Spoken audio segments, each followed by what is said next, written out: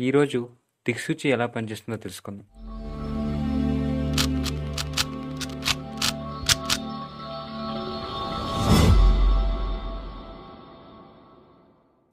దిక్సూచిని two not six బీసీలో కనిపెట్టారు. ఇప్పుడు దీన్ని నావిగేషన్లోను మిలిటరీలోను నేవీలోను పొజిషన్ ట్రాక్ చేయడం కోసం ఉపయోగిస్తున్నారు. ఇది చిన్న పరికరమైన ప్రతి చోట దిక్సూచి వాడకం అనేది సాధారణమైపోయింది. ఈ భూమి అనేది ఒక పెద్ద అయస్కాంతం మామూలు అయస్కాంతం లాగే ఎత్తుకు కూడా నార్త్ పోల్ మరియు సౌత్ పోల్ అనేవి ఉంటాయి.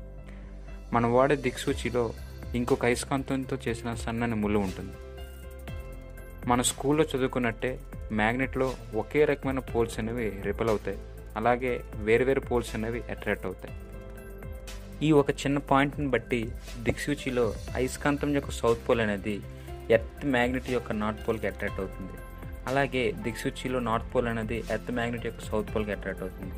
అందువల్ల మనం ఎప్పుడు చూసినా దిక్సూచిలో ముళ్ళు నార్త్ వైపు చూపిస్తూ ఉంటుంది. కానీ దిక్సూచిలో ఉండే డైరెక్షన్ అంత యాక్యురేట్ ఏం కాదు. ఎందుకంటే ఎర్త్ అనేది ఒక యాక్సిస్లో తిరుగుతూ ఉంటుంది. కానీ ఎర్త్ యొక్క మ్యాగ్నెటిక్ ఫీల్డ్ అనేది యాక్సిస్ నుంచి కొంచెం వంకరగా ఉంటుంది. అందువలన ఈ నార్త్ డైరెక్షన్ దిక్సూచి చూపించిన దానికి ట్రూ నార్త్ డైరెక్షన్కి చిన్న డిఫరెన్స్ ఉంటుంది.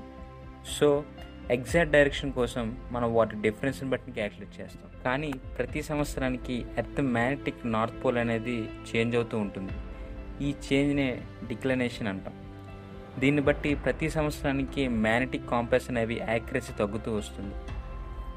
ప్రస్తుతానికైతే రియల్ నార్త్ పోల్కి ఈ మ్యాగ్నెటిక్ నార్త్ పోల్కి మధ్య ఎలెవెన్ డిగ్రీస్ డిఫరెన్స్ ఉంది. ఇంకా సెవెన్ హండ్రెడ్ థౌజండ్ ఇయర్స్ తర్వాత ఎర్త్ మ్యాగ్నెటిక్ నార్త్ పోల్ అనేది సౌత్ పోల్గా సౌత్ పోల్ అనేది నార్త్ పోల్గా మారిపోతుందని సైంటిస్ట్ చెప్తున్నారు.